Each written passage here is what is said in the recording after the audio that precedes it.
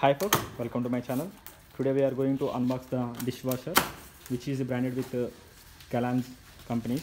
So I will show you. Just we are opening this product. You see, this is the item. So this is model number they are giving. The weight also is giving 47 kg. So let's remove this. They have given a protection layer on top. So you see the sides also they have protected.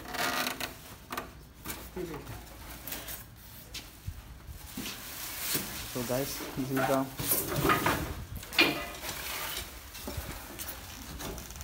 dishwasher. So they have multiple options, and uh, I will tell you in another video about this uh, usage and uh, what how to use these products.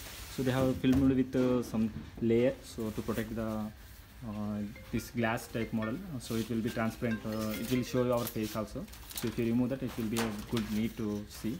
If you open it in top way, we have to open. It will open like this. So if you see this product right inside uh, there we have to place the items and uh, we need to uh, wash with the hot water. 80 degrees of hot water will be used to clean our dishwashers so it's showing that we can clean the tawa also.